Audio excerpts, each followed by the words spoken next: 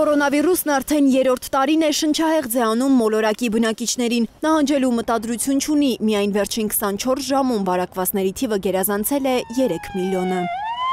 Մահվան դեպքերն ամենաշատը գրանցվել են Միացյալ Նահանգներում։ Նախագահ Ջո Բայդենի խոսքով ամերիկացիների 1 երրորդը հրաժարվում է դիմակ դնել։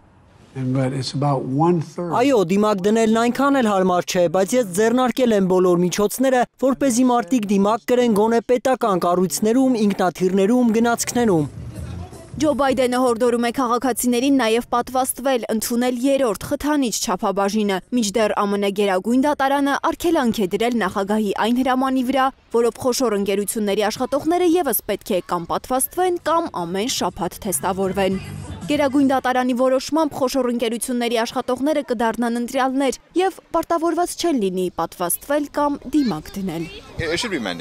Եթե ուզում եք հաղթահարել այս անիծյալ վիրուսը, ապա բոլորը պետք է պատվաստվեն։ Որոշ մարդկանց թույլ չտալ չպատվաստվել ուղակի եսասիրություն է։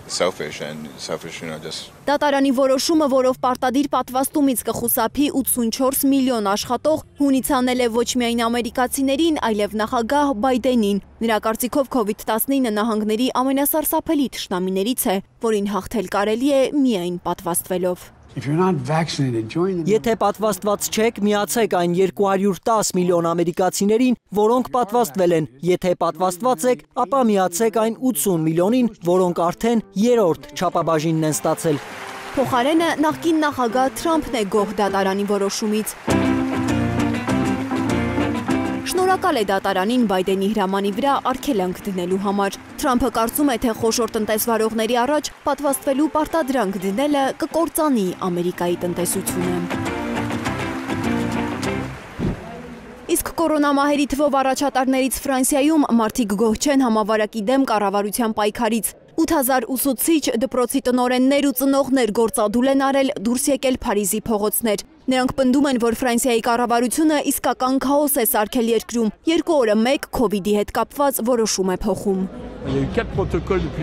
Դեկտեմբերի 30-ից մինչև այսօր 4 տարբեր որոշում են կայացրել համավարակի վերաբերյալ։ Սա նշանակում է, որ կառավարությունն էլ չգիտի ինչ է անում։ Մենք միայն խնդրում ենք պաշտպանել մեզ վարակից, դպրոցներին տրամադրել պաշտպանիչ դիմակներ, օդը մաքրող սարքեր։ Միայն մեկ օրում Ֆրանսիայում վարակվել է մոտ 400 հազար աշակերտ ու ուսուցիչ։ Բնակիչների զայրույթը զսպելու փորձ է արել վարչապետ Ժան Կաստեքսը։ Նա խոստացել է հանդիպել ուսուցիչների հետ։ Բախումներ են եղել Գերմանիայում, երբ իրար դեմ են դուրս եկել պատվաստվելուն դեմ քաղաքացիները եւ վակցինացիան պրոպագանդող բժիշկները։ Դրեզդենը խլացնող բողոքի ձայնը ոստիկանները լրացրել են ջրցան մեքենաներով ու տասնյակ ցուցարարների ձերբակալելով։ Լիլիթ Գասպարյան, Աշոտ Ղազարյան, Հայլուր